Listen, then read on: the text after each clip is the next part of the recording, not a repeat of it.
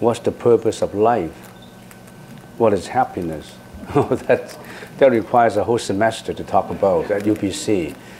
If the purpose of life is just to, all right, you're a, you're a kid now and you don't know um, what you do, you just go for primary school, into high school, and then you afterwards, you want you, know, you have been forced by your parents to get a good education and somehow you graduate and then you say, okay, you go in university and then, and then later you get to know your, your partner, your boyfriend, your girlfriend, and then you get married. And once you get married, you got to have kids. And once you have kids, then you have go through the whole process of life. That's what we call samsara. Is that really the purpose of life? The purpose of life is just to wait for death to come out? What's the purpose of life? Um, well, some people say, I don't, I don't know what's the purpose of life. That's, that leaves that to philosophers and, and psychologists. Why do we have to worry about the purpose of life? Just eat, drink, pay, play, be merry, and, uh, and just be happy. By the way, you don't even know or we don't even know, or we're not clear on what is quote unquote happiness. To most people, they don't even know what happiness is all about. Some people don't even get into that. They just live the life that everybody, you know, satisfaction of, of senses. Uh, what is happiness? As long as my eyes like to see things, my eyes want to see, my ears like to listen to things, my ears like to, to listen to, my, my, my tongue tastes food that I like, my smell, smell fragrance that I like, that's happiness. Then when you come to think of that definition of happiness, does it mean that happiness is just a satisfaction of your senses, of your eyes, your ears, your nose, your tongue, your body, or is happiness just a stimulation of the hormones? when you have this relationship between a man and a woman. Is that what happiness is all about? When you start to find out meaning of happiness, meaning of life, you're already at a higher level than other people who don't even know about it. They're just in search of material, in search of wealth, reputation, relationship, marriages, you know, all that. Because you are in the process of seeking the purpose of life. Why do we come here? The purpose of existence. Um, how do I come about to be a person? Why do I have to go through what I have to go through? Why is everybody different? Have you ever thought of that kind of a, of a, a metaphysical question? Physical is whatever is physical, is whatever you enjoy. But the physical is something beyond the average intelligence. When you trigger that thought, with that kind of a thought, you, you are on your way to be wiser than a lot of people who only absorb in daily pleasures. There are people who are like that. If you go to a, to, to a liquor store, you know, people standing right at the liquor store begging for $5 to have a drink. In their mind, what is the purpose of life? They don't even think about the purpose of life. They just want to satisfy their senses by having that bottle of whiskey. when you ask these questions, I'm glad. Because you, you're on your way to be wiser. Because you are, you, are, you are on your way to understand the meaning, the meaning of life. If you're in search of the meaning of life, you already have elevated yourself to a higher level. Because in the process of seeking the meaning, you already learn how to, how to what? How to manage suffering. Do you have sufferings? Do you have sufferings? If anybody say, I don't have any suffering, raise your hands. Do you have any, do you have any, um, we don't see sufferings, do you have any mental affliction? You know what mental afflictions are? Sometimes you're jealous, sometimes you're greedy, sometimes you are ignorant, sometimes you are um, arrogant, sometimes you are depressed, sometimes you have fear, sometimes you have anxiety. What are those? Apart from actual physical sufferings, we also have many, many, many mental disorder, mental afflictions. Do you realize that? If you don't realize that, raise your hands. Everybody realize that. You realize that. How come you don't do anything about it? How come you don't explore more into it to find out the meaning of life? If everything, every day you're eating the same breakfast, every day you're eating the same lunch, it does not matter what kind of lunch. You go to a good restaurant, have a good lunch, go to a, a, a McDonald's, you have a McDonald's lunch. But if life is just going through the free meals and having fun, and then you died, what's the meaning of life really? Have you ever pondered about it? If you started to ponder about it, you are going on this higher level. The Buddha started to ponder about it at very early age. When the Buddha, he was a prince, Siddhartha Gautama, he enjoyed all the luxuries of life in the palace. Think about you are, you are, you are always in pursuit of luxuries of life. You always want a Shaughnessy house. You always want to drive a, a Mercedes Benz, a Rolls Royce. You always want the best of everything. So what? When you get a Rolls Royce, you have a higher desires. When you get a Shaughnessy house, you have a higher desires.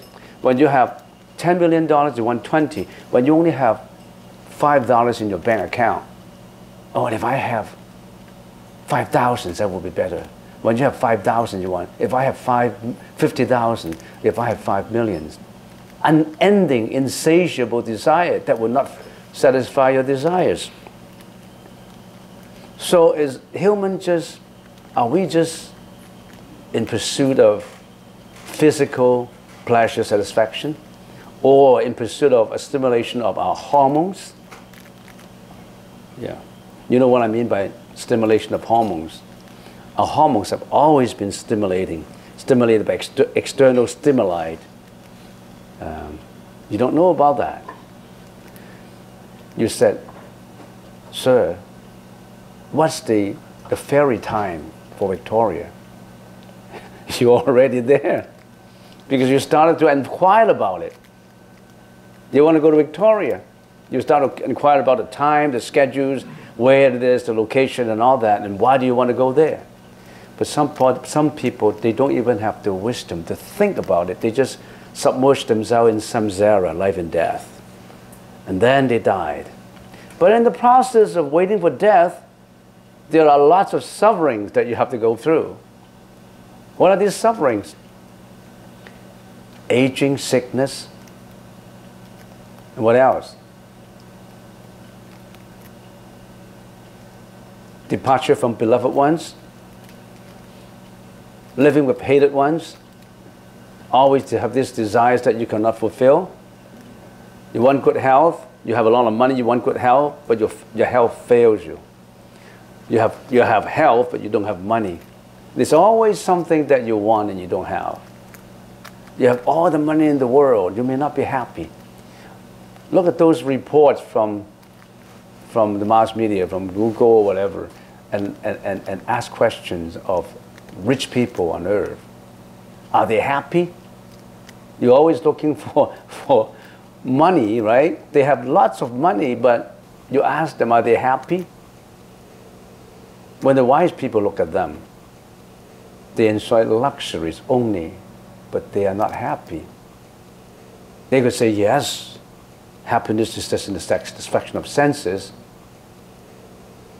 If happiness is just in the satisfaction of senses, then that means all these rich people who can get luxuries, they're happy. But they actually, how happy are they? I can go on and on on this kind of questions. I don't know where to, where to end. But then, um, what is the purpose of life? If the purpose of life, if I just, it's very difficult to, to, to give a straightforward answer. If I say purpose of life is look for the meaning of life, the meaning, what's the meaning of life? In the process of looking for meaning, you have a lot of elevations in life. You learn how to endure sufferings. You, don't, you know how to help others to endure sufferings. You, how, you would learn how to tackle and manage your own mental afflictions. If you're a young, young person, there's still a lot you have to confront about. It's time to wake up. It's time to think about life. You have enjoyed a lot already. It's time to think about spiritually what life is all about. And uh, maybe let me introduce you to a, th- a very thin book that is not even religious. It's called Man in Search of Meaning. Men in Search of Meaning, the meaning of life. Who wrote that book? A survivor of a concentration camp in Nazi Germany. He survived thousands of his comrades. He was able to survive after the war. And he come up with some very valuable experiences that he depend on to endure life, to go through the hardship, a hardship that nobody else can endure. That's a very good book. Only about 50 pages. It's just about 10 bucks. you, you can get it from, where can you get that book now? I, I forgot. Where, where can you get that book? Yeah, on Amazon. Amazon, yeah. Am- have, anybody who has read that book, raise your hand. What do you think? Is it a good book? Very good book, right? It's simple to read. It's translated from German, and it gives it, it triggers some thought in your mind. Men in search of meaning. Everybody is writing his own script in life. What kind of script? You know, a movie needs a script, right? Every script is different. How do you write your own script?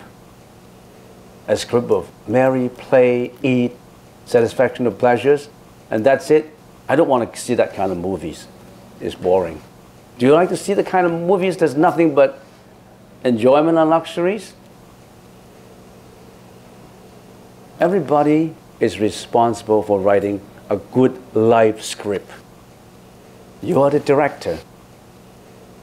You are the script writer. You are the actor. Do a good job about life. It's not simple. Appreciate what you've got and write out this good script. You still have a lot of time ahead of you. Write a good script for you. And that's about what I can answer in this question. There's so, so much to talk about. So read that book first. Man in Search of Meaning by Frankl, F R A N K L. All right, so that's the first one. Second question Is nirvana heaven? Nirvana is not heaven.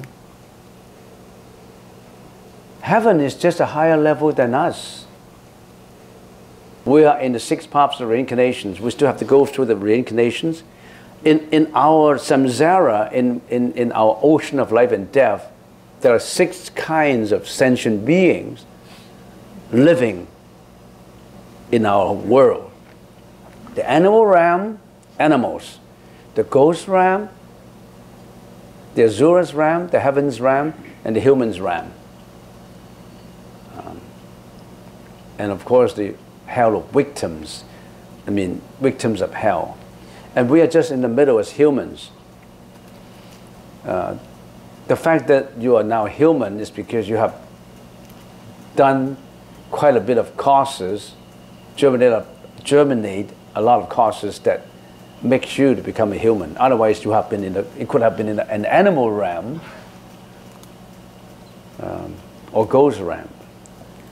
And in our, there are three planes of existence, and we talk about that, three realms of existence of this sentient being universal cosmos. There's three realms of existence. We are in Kamadhatu. A higher level is Rupadhatu, and higher level levels Arupadhatu. We just mentioned that when back at meditation. What is Kamadhatu? The world with desire and materiality, with desires for sex, for reputation, for food, for eating, for enjoyment, for stimulation of the senses. We have all kinds of desires that drive us to do what we're doing now, karmically and material as kamadhatu. At a higher world, it's rupadhatu, is they don't have all this desire anymore, but they still have material, they still have a body. And um, at the upper, very high level, the third level, no more body left. Our, our body is a burden, you know. Our body, as we always use the analogy, is an apartment. This apartment is, is on a lease. It's a net net lease. After 100 years, you got to leave this apartment. Some, somebody live in five years when they're a baby, or 10 years, and some people live at 25, 26, 30, 60. They all have different periods of lease. It's non-renewable. You can't say, I want to renew the lease, I want to live in my body for another 20 years, 30 years. No. When your lease is due, you got to leave this body. We are calling it net, net lease. You still have to upkeep it. And by the time the disease is due, you got to die. So this body is temporary. So, you say Buddhism is so wide that when you keep on talking and talking, you're being led away. I don't know where. What's my question? Which realm is, uh, is nirvana heaven? And in, in the Kamadhatu, there are six heavens, six levels of heavens, and but you are still in samsara. You are just at a higher level than humans. You live maybe for thousands of years. You have a longevity of thousands of years, and we have a longevity of at the most 100. They have thousands of years of longevity. They are, they are sentient beings in heaven. Uh, but it's not nirvana. Nirvana is the place that is above all this life and death. No more life and death for nirvana. Nirvana is no more life and death. No more sufferings. When you are in heaven, you still have suffering. What kind of suffering? When your karmic energy qualify you to be in heaven is due, you got to come down to reincarnation again. Animals ram, humans rams, and all these different rams again. You're always in samsara. But the nirvana is always out, already out from all this life and death. No more life and death is nirvana. Let's put it very simply. No more life and death. No more mental afflictions. No more sufferings people like to use the word eternity. Okay, eternity, if you like to use that word. But that word is not, it, it uh, has, has uh, a connotation that's uh, not exactly pure. Because eternity means forever. Nothing is forever in this world, but that, that's just borrow a word from them. So which realm is pure land in the three planes of existence? The pure land, Amitabha's land, is out from the three realms of existence. Is out already. So when you died, if you can go to that realm, 极乐世界, if you can go to 极乐世界, that means you are out from life and death. To be in that intermediate country where it was created by Amitabha, Amitabha, he created a heaven for all those who departed from this world to be in there, free from suffering.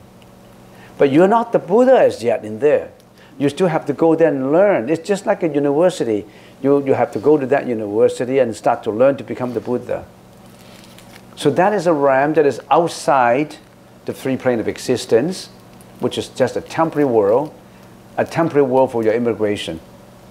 And when you are in that land, Amitabha is the professor and, and Guan Yin Pusa Avalokitesvara Bodhisattva, you will gradually get into enlightenment and become the Buddha.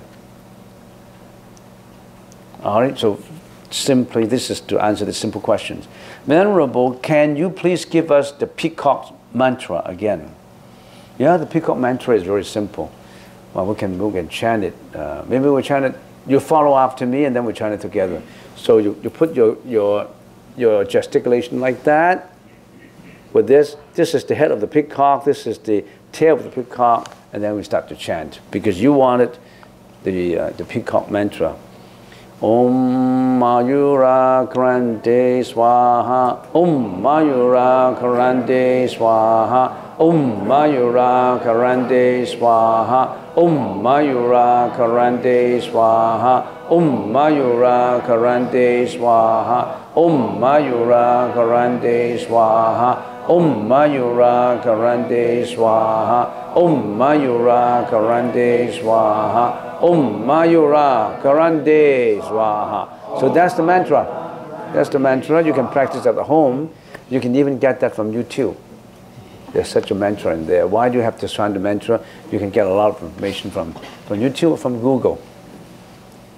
And um, make sure that you join us when we, when we set up the, um, uh, the mandala practice for the, for the peacock mantra again uh, then you join in our ceremony, uh, saying prayers for prevention of earthquakes in Vancouver. Vancouver is subject to earth, is an earthquake zone, and this mantra is very effective in preventing earthquake and natural disasters. It's particularly effective in dissolving poison. So why do we get sick? Because we have poison we have germs and bacteria inside our body. This, that's poison. So if you want to get rid of poison, that is a very effective mantra. Poison, avoiding and prevention mantra. Om Kranti Swaha. So if you want to be healthy and you want to get away from being poisoned in your food, you know, then um, this is a very effective mantra that you, you, you chant every day. Why do we have to chant mantra? Why does mantra become effective? Why is a sound that effective? You have to learn about it. Don't be superstitious. Oh, just chanting the mantra, the sound will do. No, why? Always ask why in Buddhist teaching. Don't just accept it. What, what is chanting? Tell me what is chanting in the modern language. What is chanting? What is what is chanting? What is was chanting? What what is chanting? chanting is chanting meditation, right? Om Mayura Grandi Swaha, Om Mayura Grandi Swaha. Chanting in the modern language is what? A sound therapy. You know what sound therapy is? With ultrasound, right? Sound, when the, when the frequency of sound is all magnified, it becomes extremely powerful. Many years ago, we don't have ultrasound operation. Now, you don't need to cut the body. They just use ultrasound to break the, the, the gallbladder stone. The sound itself, when it conjure in a very high density, can pierce through the hardest object. That's called ultrasound. Sound therapy is a therapy that comes back to help the producer of the sound the most effective sound is not from machine. The most effective sound is what? From where? From the mind. It's from your own mind. That's the most, if not from a machine. Of course, right now, what is, what is ultrasound? Ultrasound is sound produced by machine. They gather the frequency together to produce a very strong strength that can break through the very hard objects. But a sound chanting from your consciousness, from your mind, if it gets repeated habitually and all the time and all the time, it's extremely powerful. It's inconceivable. You can't even imagine how powerful it is. That's what we call sound therapy. Do you believe in sound therapy? Do you believe in ultrasound?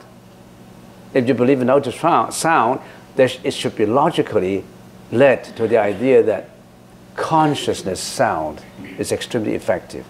That's why we are chanting sutras. That's why we are chanting a mantra. That's why we're chanting Namo Mitofu, Namo Mitofu. You are what? Producing a sound therapy. There's a sound, a chanting meditation, a sound meditation. What is a silent meditation? There's a consciousness meditation.